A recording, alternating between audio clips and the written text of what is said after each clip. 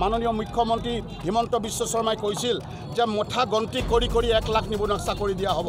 কিন্তু আজি বিত্তমন্ত্ৰী মহোদয়ে কৈছে যে আজি চাকৰি দিব পৰা নাযায় যে তাৰ বিত্তীয় অৱস্থা বেয়া আনকি প্ৰমোশ্যনো দিব পৰা নাযায়। চাকৰি দিয়াটো বাদেই। আঠশ ত্ৰিছ টকাৰ পৰা তেওঁলোকে অৰুণোদয় আঁচনিৰ ধন তিনি হাজাৰ টকালৈ বৃদ্ধি কৰিব। কিন্তু নিৰ্লজ্জভাৱে দুৰ্ভাগ্যজনকভাৱে এতিয়া নিৰ্বাচিত হোৱাৰ পিছত তেওঁলোকে মাত্ৰ কেইটকামান বঢ়াই হাজাৰ টকা কৰি আজি বাহ বাহ ল'ব খুজিছে। যদি অসমৰ শিক্ষামন্ত্ৰীগৰাকীয়ে যদি ৰাজপথত জঁপিয়াই থাকে অসমৰ শিক্ষামন্ত্ৰীগৰাকীয়ে যদি শিক্ষক সমাজক যদি অপুল্লি ৰাজহুৱাকৈ যদি টিভিৰ সন্মুখত বেয়াকৈ ব্যৱহাৰ কৰে অসমৰ শিক্ষামন্ত্ৰীগৰাকীয়ে যদি ষ্টেজত জঁপিয়াই থাকে তেতিয়াহ'লে তেতিয়াহ'লে অসমৰ শিক্ষা ব্যৱস্থা আজি ছাত্ৰ ছাত্ৰীসকলে কি শিক্ষা ল'ব? আমি আমাৰ নিখিল ভাৰত কংগ্ৰেছ কমিটিৰ নিৰ্দিষ্ট কাৰ্যসূচী অনুযায়ী অসম প্ৰদেশ কংগ্ৰেছ কমিটিৰ নিৰ্দেশনাত জিলা কংগ্ৰেছৰ যোৰহাট জিলা কংগ্ৰেছ কমিটি আজি আমি যোৰহাটত আমি যোৰহাটত আমাৰ তিতাবৰটো কালি অহাকালিলৈ হ'ব তিয়কতো বেলেগে হ'ব। আমি যোৰহাটত আজি আমি এনেদৰে আমাৰ জনজাগৰণ যাত্ৰা আৰম্ভ কৰিছোঁ। এই যোৱা চৈধ্য তাৰিখ আপোনালোকে জানে যে যোৱা চৈধ্য তাৰিখে সমগ্ৰ ভাৰতবৰ্ষ ধৰি ভাৰতবৰ্ষৰ প্ৰতিখন ৰাজ্যত আমাৰ নিখিল ভাৰত কংগ্ৰেছ কমিটিৰ সভানেত্ৰী ছোনিয়া গান্ধী ডাঙৰীয়ানীৰ নিৰ্দেশনাত আমাৰ অসম আমাৰ গোটেই ভাৰতবৰ্ষত যি কাৰ্যসূচী আৰম্ভ হ'ল তাৰ চৈধ্য তাৰিখৰ পৰা এই কাৰ্যসূচী আমাৰ ক্ৰমাগতভাৱে চলি আহিছে। আজি আমি যোৰহাটত কৰিছোঁ গাঁৱে ভূঞে চহৰে নগৰে কাৰ্যসূচী কৰিছোঁ।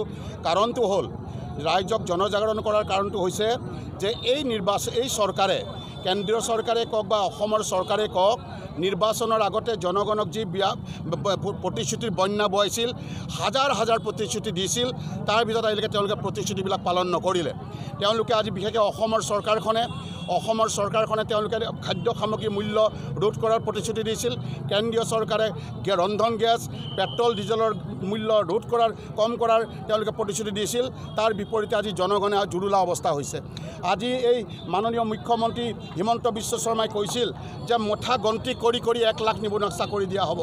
কিন্তু আজি বিত্তমন্ত্ৰী মহোদয়ে কৈছে যে আজি চাকৰি দিব পৰা নাযায় যে তাৰ বিত্তীয় অৱস্থা বেয়া আনকি প্ৰমোশ্যনো দিব পৰা নাযায় চাকৰি দিয়াটো বাদেই।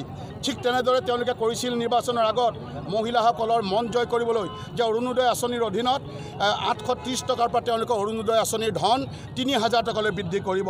কিন্তু নিৰ্লজ্জভাৱে দুৰ্ভাগ্যজনকভাৱে এতিয়া নিৰ্বাচিত হোৱাৰ পিছত তেওঁলোকে মাত্ৰ কেইটকামান বঢ়াই হাজাৰ টকা কৰি আজি বাহ বাহ ল'ব খুজিছে। ঠিক তেনেদৰে আজি চাওক এইখন চৰকাৰৰ দিনত ইতিহাস ৰচনা কৰি ইতিহাস ৰচনা কৰি তেওঁলোকে আজি তাৰিখত আমাৰ ছাত্ৰ ছাত্ৰীবিলাকৰ পৰীক্ষা নাপাতিলে। তেওঁলোকক আজি আমাৰ অসমৰ বাহিৰত পঢ়িবলৈ যোৱা ছাত্ৰ ছাত্ৰীৰ আশাত চেঁচা পানী ঢালিলে। এইটো এটা দুৰ্ভাগ্যজনক বিকাশ যে ছাত্ৰ ছাত্ৰীৰ জীৱনক লৈও তেওঁলোকে হেতালি খেলিবলৈ নেৰিলে।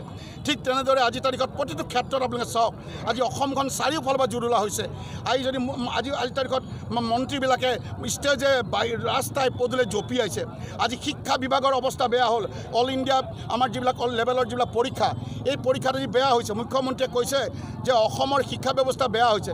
নহ'ব কেলেই যদি অসমৰ শিক্ষামন্ত্ৰীগৰাকীয়ে যদি ৰাজপথত জঁপিয়াই থাকে অসমৰ শিক্ষামন্ত্ৰীগৰাকীয়ে যদি শিক্ষক সমাজক যদি অপুল্লি ৰাজহুৱাকৈ যদি টিভিৰ সন্মুখত বেয়াকৈ ব্যৱহাৰ কৰে অসমৰ শিক্ষামন্ত্ৰীগৰাকীয়ে যদি ষ্টেজত জঁপিয়াই থাকে তেতিয়াহ'লে তেতিয়াহ'লে অসমৰ শিক্ষা ব্যৱস্থা আজি ছাত্ৰ ছাত্ৰীসকলে কি শিক্ষা ল'ব?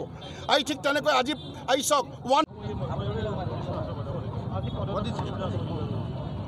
আপোনালোকে ভালদৰে জানে যে সমগ্ৰ ভাৰতৰ ভিতৰত নিখিল ভাৰত কংগ্ৰেছ দল জিলাই জিলাই অঞ্চলে অঞ্চলে জনজাগৰণ যাত্ৰা আৰম্ভ কৰিছে।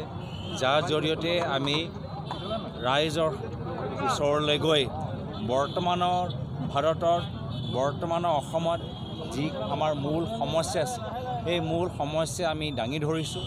ৰাইজক আমি কথা দিছোঁ। যে বৰ্তমানৰ চৰকাৰৰ অহংকাৰী এই আচৰণটো আমি ভাঙি দিম। ৰাইজে আমাক আশীৰ্বাদ প্ৰদান কৰিছে। ৰাইজে আমাক সহায় আগবঢ়াইছে। ৰাইজে বিচাৰিছে যে কংগ্ৰেছ দল আগন্তুক দিনত আৰু শক্তিশালী হৈ এই বৰ্তমানৰ সমস্যালৈ মাত মাতে। আজিৰ তাৰিখত বৰ্তমানৰ অসমৰ ভিতৰত যে বিজেপি চৰকাৰ এটা অহংকাৰী চৰকাৰ হৈ গৈছে।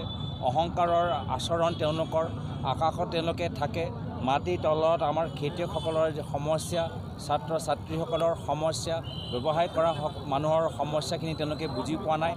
ভাবিছে যে এজন ৰজাৰ দৰে অলপ পইচা যদি বেলাই দিয়ে তেতিয়া আমাৰ মানুহখিনি সন্তুষ্ট হ'ব। কিন্তু আমাৰ মানুহৰ যি স্বাভিমান আমাৰ মানুহৰ যি চকু পানী আমাৰ মানুহৰ বেদনা আমাৰ যুৱকসকলৰ মাজত আজি হতাশা তেওঁলোকে অনুভৱ কৰি পোৱা পোৱা নাই। তো সেইকাৰণে এই জনজাগৰণ যাত্ৰাৰ জৰিয়তে ৰাইজে সাহস পাইছে কি যদিও বিজেপি দল অসমৰ ৰাইজক পাহৰি গৈছে ব্যক্তিগত স্বাৰ্থৰ কাৰণে ব্যক্তিগত সুবিধাৰ কাৰণে নিজৰ বাগান নিজৰ সম্পত্তি নিজৰ হোটেলৰ ওপৰত বেছি গুৰুত্ব দিয়া সময়ত কংগ্ৰেছ দল ইতিহাসৰ পৰা বৰ্তমানলৈকে ভৱিষ্যতলৈকে সদায় ৰাইজৰ লগত আছিল আছে আৰু সদায় থাকিব। এই বাৰ্তা যে আজি ৰাইজক কংগ্ৰেছ দলে দিছে আৰু ৰাইজে যে আমাক যে সাহস প্ৰদান কৰিছে মই ভাবোঁ আগন্তুক দিনত আমি অসম আৰু ভাৰতবৰ্ষত এটা ভাল এটা সময় দেখা পাম।